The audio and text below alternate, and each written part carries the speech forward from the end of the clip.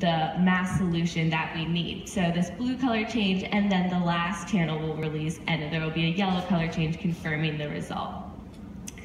So just to compare the two tests, the EAC is what I call it, the Ebola assay card. Um, in cost, the ELISA kit is about $1,000, while the EAC is about $5. The ELISA kit requires two hours, while the EAC requires 30 minutes.